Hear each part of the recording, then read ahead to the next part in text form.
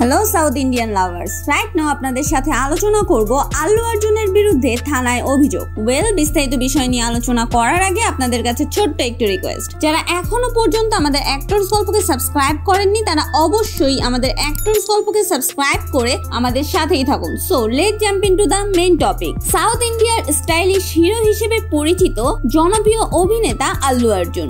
আইনি জটিলতায় পড়েছেন তিনি। তার বিরুদ্ধে থানায় অভিযোগ দায়ের করা হয়েছে। রিসেন্টলি পরিবার নিয়ে তিপেশ্বর অভয়ারণ্য ঘুরতে বেরিয়েছিলেন এই অভিনেতা। এছাড়া কুন্তলা জলপ্রপাতেও গিয়েছিলেন। তিনি যাওয়ার পরে শত শত ভক্ত সেখানে ভিড় করতে থাকে এবং তার সঙ্গে ছবি তোলে। পাশাপাশি সিনেমার জন্য কিছু লোকেশনেও ঘুরেছেন আল্লু অর্জুন। টলিউড ডট নেটের এক প্রতিবেদনে বলা হয়েছে, এ বিষয়ে ন্যারাদিকুন্দা থানায় অভিযোগ দায়ের করেছে রাইট টু ইনফরমেশন অ্যাক্ট কর্তৃপক্ষ।